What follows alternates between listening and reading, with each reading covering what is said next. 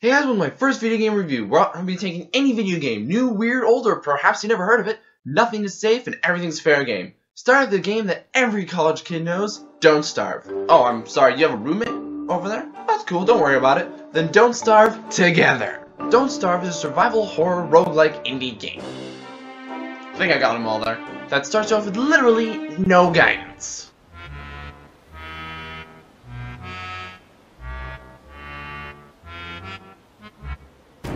Well, thanks. That's just about as vague as it gets. Hang on, maybe we should back up a bit. You don't really learn this in the game very much, but the intro videos reveal you as Wilson, a scientist who's fresh out of ideas and willing to resort to terrible ones. Like a certain alchemist I hate. Anyway, Strange Voice offers you forbidden knowledge, which last I checked is always a good idea. You accept this, make some poor decisions, and before you know it, you are sucked into another dimension, with your only help being a guy who's literally twice as tall as you. He doesn't seem like a trustworthy fellow. There. Now we're caught up. You can already tell this game has a sick sense of humor, other than how much Tim Burton will be proud, because it doesn't tell you how to do anything. At all. Seriously, I have no idea what I'm doing. What are these three things anyway? Health. I think that's a stomach. And what's that brain doing there? Whatever. I need food.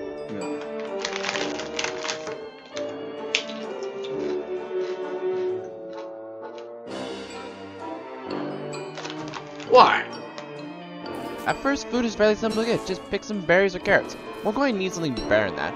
How about a bunny? Hang on, that's not a bunny. Can it be? The mythical jackalope, just like in the motherland. Anyway, it's about to get dark. Probably should start a fire or something. Are those eyes? Must be in my imagination.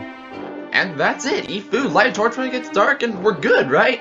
Well, not quite. Don't starve in many ways, it's a very sandbox feel, with tons of materials and things everywhere that for a long time you don't know what they are for without looking it up. What can I even do with Niter?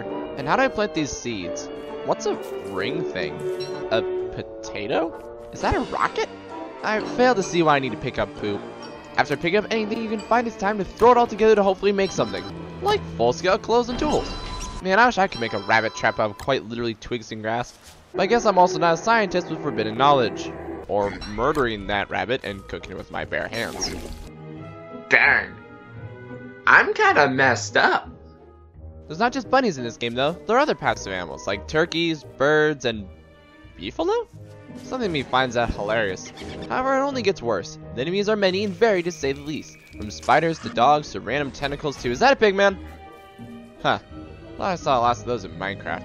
They are no joke though. While there are ways to befriend many enemies, there's also ways to severely tick them off. And they will end you. So as much as each one is a threat, each one is also vital since they provide items you need for your recipes. And I only named off the simple enemies. There are much more. Like bees. No! My weapons are useless! What was that? I swear I'm seeing things. You can find the materials eventually you can make the science machine. I have no idea what that is or how it works. Ah, that's what it does. Neat. Anyway, it unlocks prototypes and new things to build and opens up a plethora of options. Literally to the point of me spending multiple days just looking at my options and figuring out what I can make. I still don't know half what I'm capable of, or what these things do. And there's even more machines and more different recipes you can get for tons of possibilities. You seriously have to have all your marbles to figure this mess out. Okay, everyone stop. I know I'm not seeing things. What is that? While this isn't obvious at first, being an alternate freaky Tim Burton style adventure takes its toll on one's mind. That, and you haven't been sleeping, the weather is hectic, and there are freaky monsters everywhere. And I also may have eaten raw meat a few times in desperation. After a while, you start going a little, how to say, loopy. And our poor character starts seeing things. At first, it just makes everything more and more distorted, which when I was first playing this game scared me to no end. Also, you'll notice more and more of them in the dark. Like that. And that. Dude, there's a witch! Go away! What is that hand doing? Hand! Hand! Get out of here! No!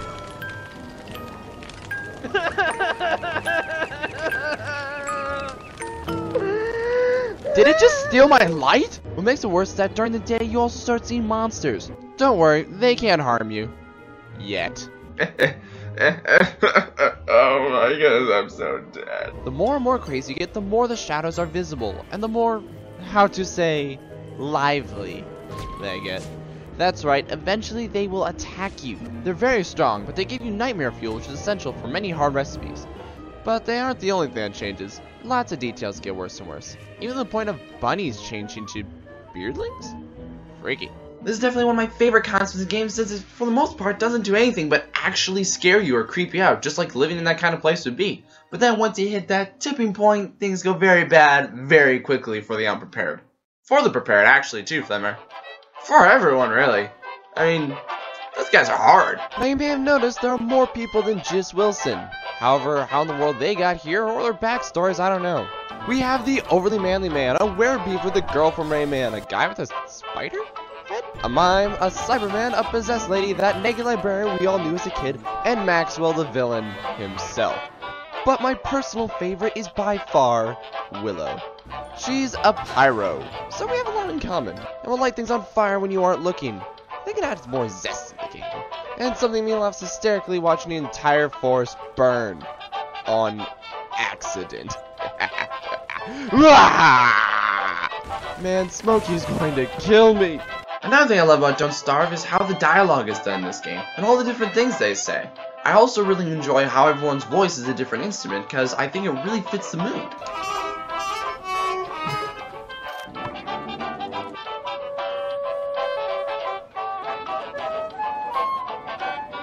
To make it worse, do you know there's a campaign? Incredible I know, this unforgiving, harsh nightmare you're living through has a way to actually win. All you have to do is find the door while playing normally, which is made much easier with the help of harder craft items, after a series of challenges against Maxwell himself, each of which are incredibly hard and randomly generated. And finally at the end you confront Maxwell, and for spoilers sake, I won't say what happens. Well, mostly because I suck at this game too much to actually make any progress there. Like, I had to look up or cheat to get most of that stuff. What, you think you think to do a review I have to have skill? I don't got any skill in this game. I stink. And what I've shown you isn't even the full extent. There also is the Reign of Giants DLC, which adds tons of things like items, seasons, and, well, giants. I cheated in some of them, but they are nothing to be trifled with. They are extremely hard to kill. And even without the DLC, there are many things in place to explore. Lots of monsters I never even knew about without watching the trailers or cheating, and much, much more. There are so many things to explore in this game, it is incredible. So in the end, what do I think of Don't Starve? Overall, this game is very unforgiving and very harsh. Not once does it try to hold your hand or even nudge you in the right direction. Every day is a struggle, but every victory is well earned, even if it all can be taken away in an instant. I definitely recommend this game as it's very well made and challenging. Hey guys, thanks for watching my first video game review. If you enjoyed this, I definitely plan on doing more, and if you have an idea or suggestion, please comment below or on one of my other YouTube videos. If you want to see me completely play a video game, then check out the two I'm currently going through. Legend of Zelda, Majora's Mask on the 3DS, and Pokemon Omega Ruby. Or you can check out my channel to see other games that I've done. But until then, I'll see you later. Just please, don't turn off the... Ah. This can't be good.